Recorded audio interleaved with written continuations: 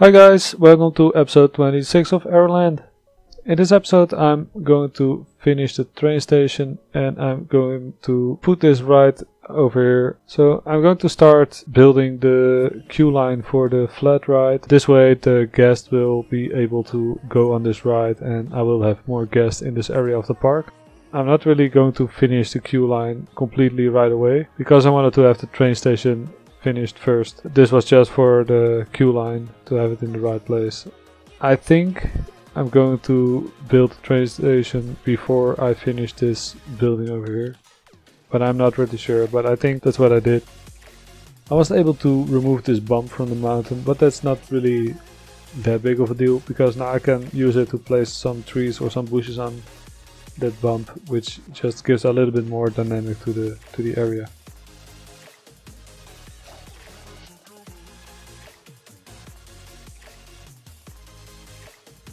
What you see here, by the way, I'm using the roof tile and I'm raising it like one one step up. This way I can use that roof tile to build a pathway to the grid on the correct height. And here I'm just trying to figure out the way I want to place the exit and the entrance path. And I decided to have this path zigzag the way you see it right here, but it had to go up a little bit as well which you will see me do in a little bit. Like so. And this way I can bend the exit around it. And this is the layout I'm going to use for this pathway and it's very nice because now I can make a nice station around it. And I already had the idea to have like a, a little a slightly taller building on the left. So at the at the entrance and exit gates, so to speak.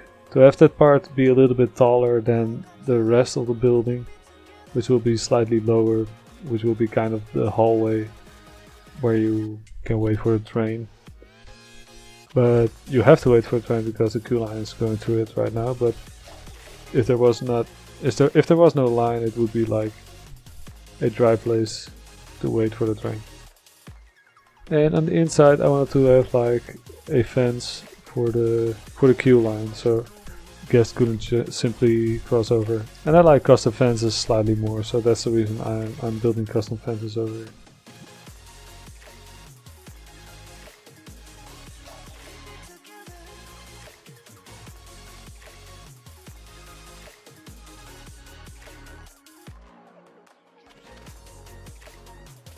And this is like a like an emergency exit just in case something happens. So I'm just placing this rope over here which is attached to a hook which I'm trying to simulate by using an icing decoration painted black or silver and then there's like a hook where the rope's attached. And it, lo it looks pretty good in my opinion. And that's a ring like so and it, it, it, looks pretty good. This way the queue line is fenced up but in case of emergency it's very easily opened up by removing the rope.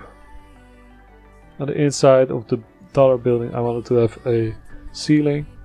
So I'm using these wooden deck boards to create a ceiling. And I still wanted to have some extra details on the inside so I decided to make like support beams for the roof. This just add a little bit more detail and it just looks a whole lot better if you add something like that in a building instead of having it open. And it's not like I'm going to look inside the building all the time, but if someone's gonna look inside, it just looks so much better. So I made one layer of these support beams and just copied it over alongside the roof and this way I managed to get multiple layers to support the roof. As you can see, they, the beam stuck out the roof a little bit, so I selected them all and lowered them slightly to have them in the correct place.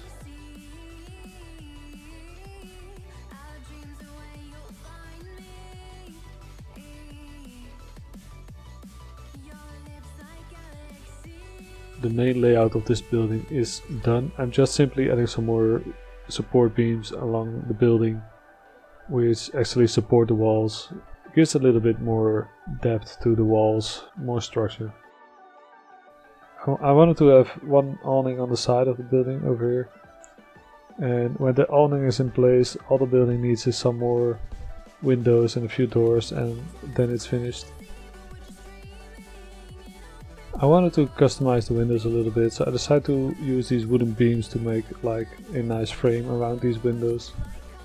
It just makes the whole thing look slightly better. And it is not really necessary, but I, I just liked the way it looked, so I did it. Sometimes it's just that simple. So I'm going to start working on the building for this flat ride over here. And my idea was to make this uh, to make this the bank of the village. So the building had to look kind of nice and I wanted to have a big big front door that's why you see the small roof in front and I want to make like two big doors where people could enter there's only a, a, small part of the queue is going inside the building and afterwards it's going behind the building. On the inside I use these pillars to support the roof and over here I wanted to make like a small counter for inside the bank.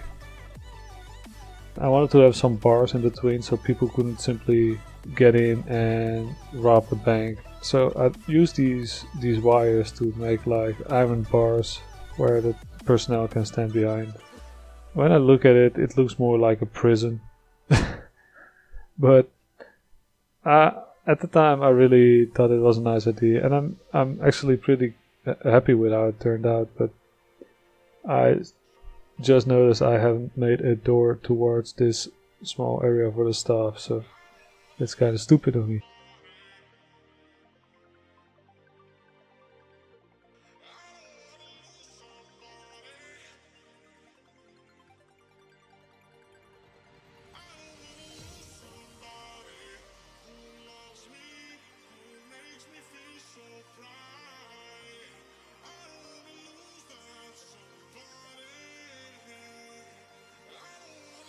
So it's time to finish the outside of the building. And I made a fence like this so you had to enter like through the side. But that's not really a bad thing because the whole building is raised up and I made the stairs on the side so it just looks better like this. And I'm hanging a rope over here just like I did with the train station so guests won't step over and go the wrong way.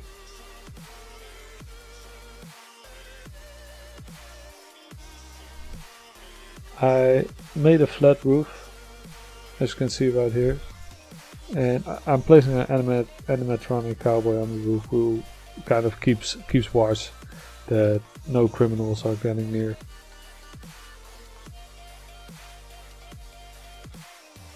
I didn't really like the light color of the of the decks that you saw before, so I used planks to cover them up and they are slightly darker so it just looks a little bit better.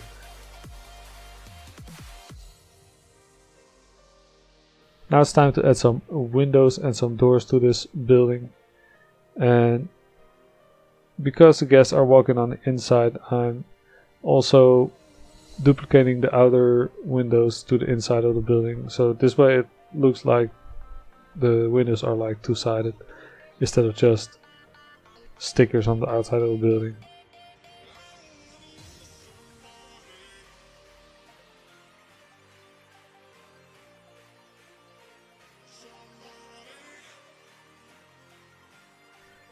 Adding some trees and some cacti and some bushes around the place and that's about the last thing I'm doing in this episode.